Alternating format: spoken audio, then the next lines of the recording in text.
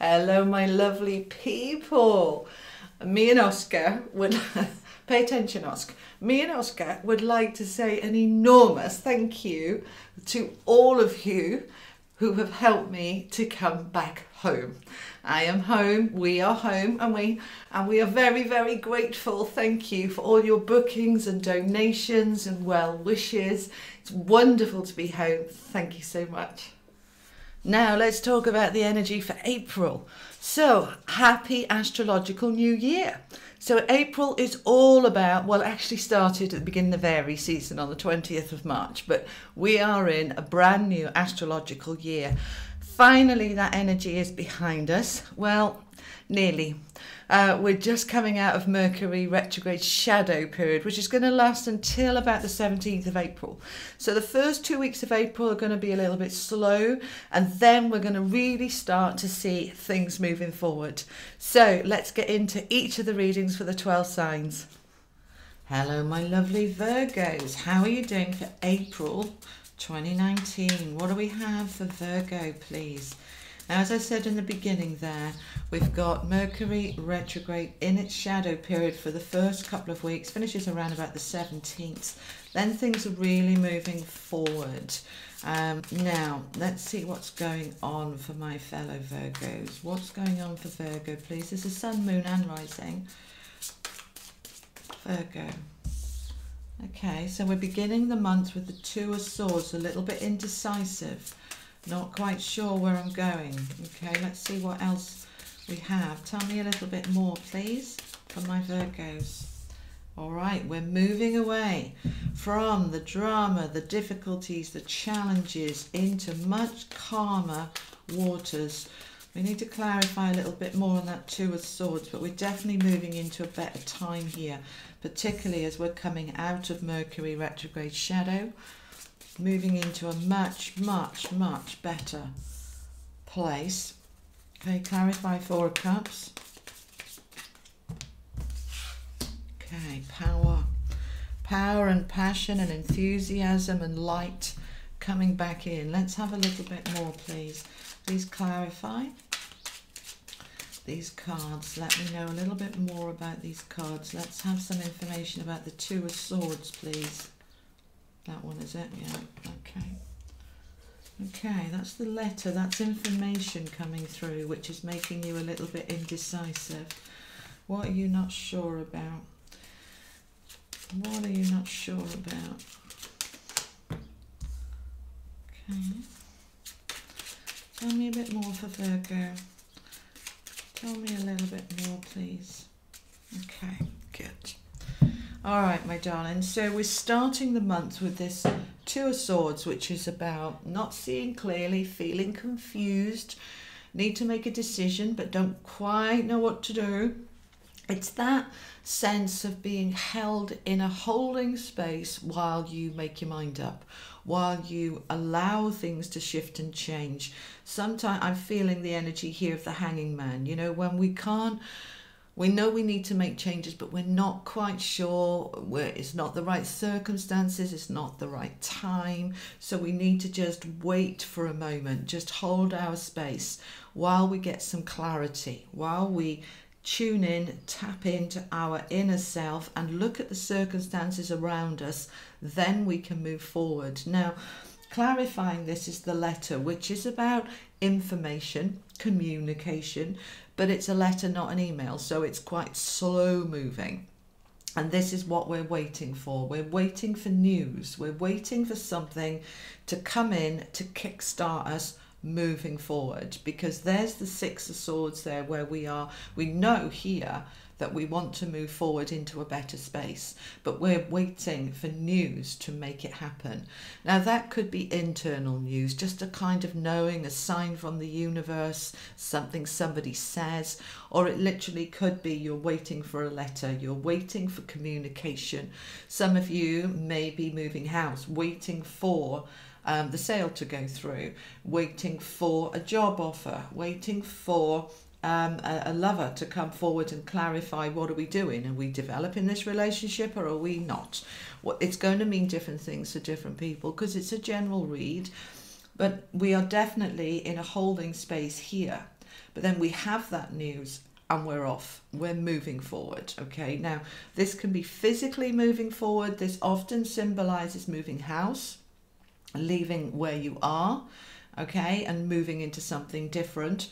And it's rooted down, clarified here by the bridge. Now, this is a card about networking and, you know, building bridges, being able to get from A to B. Yeah, so I know where I want to go and I need to build the bridge to get there. And this is where she's going. She's moving into a place where she's put the bridges in place so that she can move over there. All right, so this could be a job. So, you know, I've had the offer, which creates the bridge for me to move into it. For other people, it's mm, let's let's see what else this is about for others of you that because it's not going to resonate for everybody, and that's absolutely fine. Just take the bits that resonate and leave what doesn't. This bridge is significant you're waiting for news to create this bridge. It's, I feel that for many of you, the bridge is half complete. It's, well, three quarters. It's got as far as there, and you're waiting for that last bit to put into place, which is this news. Then you can move forward. Now, look at the page here. The page of wands is looking at her. So he's like calling her, come to me, come to me, come towards me. And she's there moving towards him. And the page of wands is an offer an opportunity, very often related to work, business, uh, self employment. It's creating opportunities here which will bear fruit. And he's calling her towards him, and she's moving. She was waiting for that information, now she's moving towards him. And as she does that, this is a gift coming in here. The flowers represent time out um, rest and recovery. And when we've moved away from a difficult, challenging situation, it's really important that we allow ourselves some rest time to recover. Yeah, we often go through the mill, move out of that difficult time, and then just carry on and on and on and on. And we get totally exhausted. And you know what we're like, Virgos, you know, we just keep going and going and going until we're burnout. And then we have a good old moan. and it's down to us to say, right, I'm out of the difficulty. I'm going to just have a rest now. Even if it's 24 hours, 48 hours, I'm going to just take some time for me and I'm going to rest and recover then I can move on as we move towards the end of the month. So I feel this is around Easter time, really. Easter is around about the 21st of April. This is the third week where we've had that offer. We can take some time for us, just recover before we move on.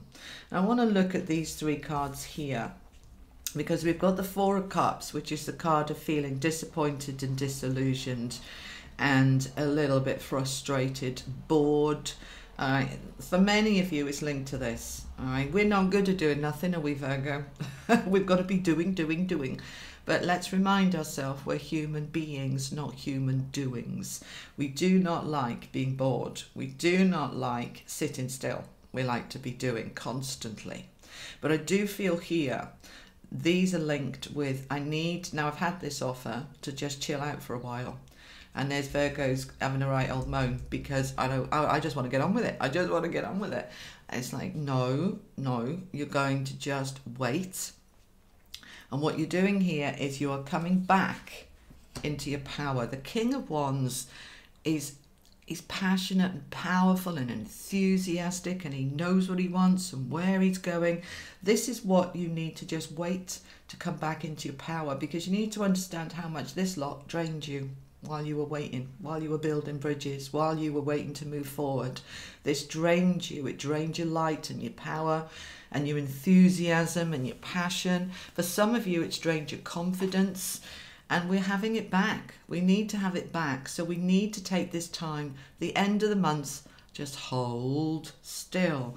And we've got the scythe there, which is about cutting away what is in the way. Okay, cutting away maybe old attitudes, old behaviors, any negativity. We want to cut that away while we are just coming into this power. So we're cutting away the boredom, the frustration, any mm, lingering resentments of what you've left here. All right. So, yes, particularly the last year been very challenging. As we move away out of that challenge, what we're finding here for some of us is that mm, anger, resentment, upset, hurt is coming up to the surface from all of this chaos and confusion that we had. Yeah.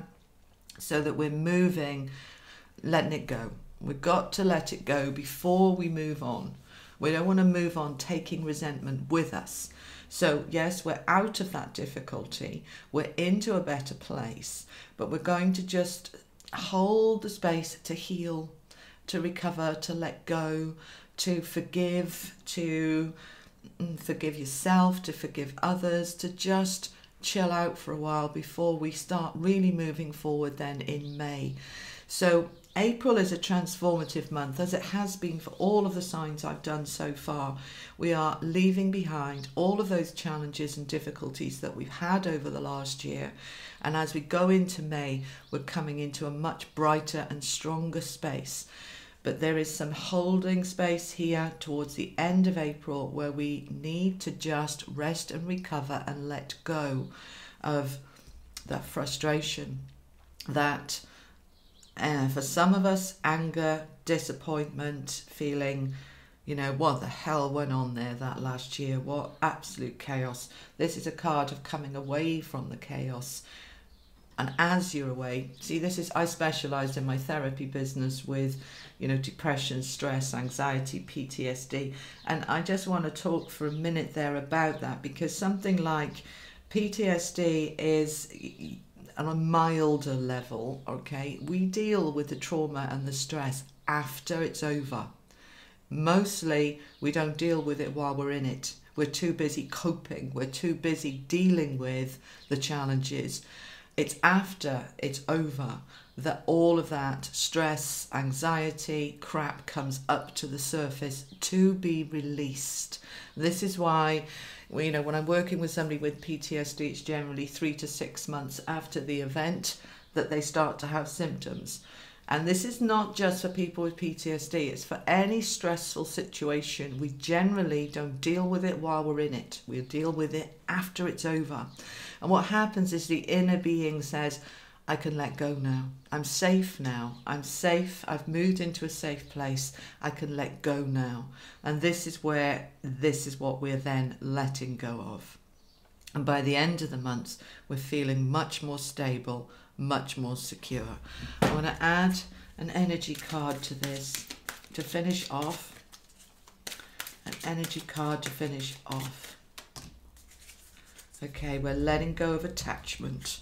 So this is confirming these cards where we were attached to challenges, to difficulties, to people, places, situations, we freed that attachment. And that is what is needing to come up and come out. You're letting go of all of the challenges and chaos that you've had, and you're moving forward clean empty. You're not dragging your suitcases of crap with you. You are putting them down and leaving them there at the end of April so that you can move forward free. Not chained, not trapped, not attached, free, like the king. All right, my darling Virgos, I hope that helps give you some information and clarity for April. Um, do please like and share and subscribe to my channel if you enjoyed this video and thank you for watching and I will see you on the weeklies or next month for the May's readings. You take care Virgo. Lots of love. Bye bye.